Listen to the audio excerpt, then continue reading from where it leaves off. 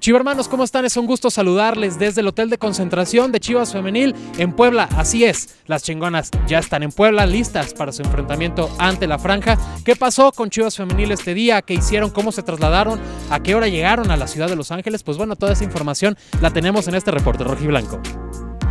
Pues mucha actividad, Chiva hermanos, para Chivas Femenil, previo a trasladarse a la ciudad de Puebla, porque desde muy temprano, aproximadamente a las 8 de la mañana, tuvieron su sesión matutina de entrenamiento, donde cerraron la preparación para lo que será el partido ante las enfranjadas. Más adelante se trasladaron al estadio Akron para tener el desayuno grupal y a partir de ahí moverse hacia el aeropuerto internacional de la ciudad de Guadalajara, donde volaron hacia la Ciudad de México y al arribar a la capital rojiblanca, tomaron un autobús que las trajo a la ciudad de Puebla muy importante, Chivo Hermanos.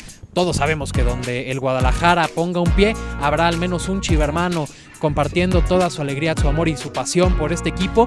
Y esta vez no fue la excepción en estos eh, dos traslados, por supuesto, tanto en el Aeropuerto Internacional de la Ciudad de México como al arribo de las chingonas a este hotel de concentración.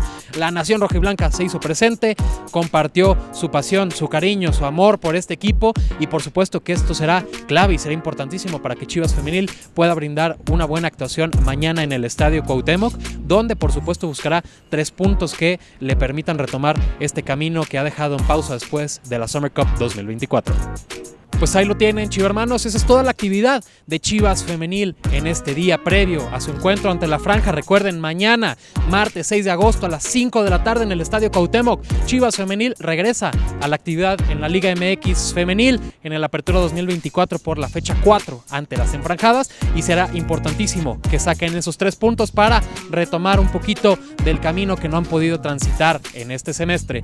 Mi nombre es Roberto García y por supuesto que los invito a estar al pendiente del canal de YouTube de Chivas y por supuesto de las redes sociales de Chivas Femenil. Nos vemos en el siguiente reporte rojiblanco.